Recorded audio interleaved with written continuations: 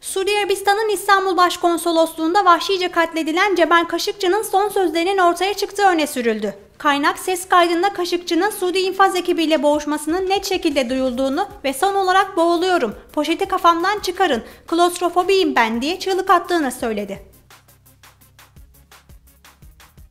Enerji ve Tabi Kaynaklar Bakanı Dönmez, kamudaki enerji verimliliği yatırımları için Dünya Bankası ile 200 milyon dolarlık bir anlaşmaya vardıklarını ifade etti. İçişleri Bakanı Süleyman Soylu, Amerika Birleşik Devletleri'nin PKK ile başları hakkındaki kararıyla ilgili en son 3 teröristi listesini alıp güya milletimizin gönlünü alacaklar diye konuştu.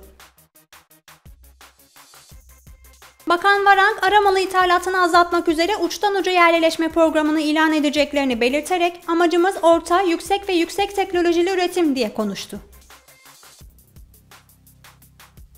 Ticaret Bakanı Ruhsar Pekcan, vatandaşlarımızın haksız fiyat artışlarına ilişkin başvurularını daha kolay ve hızlı yapabilecekleri haksız fiyat artışı şikayet bildirimi mobil uygulamasını hayata geçirdik diye konuştu. Rusya Devlet Başkanı Vladimir Putin, Avrupa güçlü bir ekonomik oluşum ve ittifak. Bu nedenle üye ülkelerin savunma ve güvenlik alanlarında bağımsız ve egemen olma isteği çok doğal. Bunun çok taraflı dünyada olumlu bir gelişme olduğunu düşünüyorum, dedi. Öte yandan Putin'in 19 Kasım'da Türkiye'ye geleceği açıklandı. Amerika Birleşik Devletleri USS Ronald Reagan uçak gemisinden havalanan FA-18 tipi savaş uçağının Japonya'nın Okinawa kenti yakınlarında denize düştüğü bildirildi. Uçaktaki iki pilotun da sağ olduğu aktarıldı.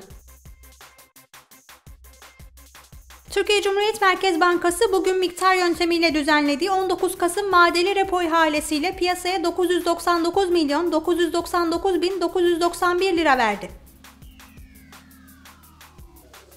Ödemeler dengesi Eylül ayında 1 milyar 830 milyon dolar fazla verirken 12 aylık cari açık ise 46 milyar 58 milyon dolar oldu.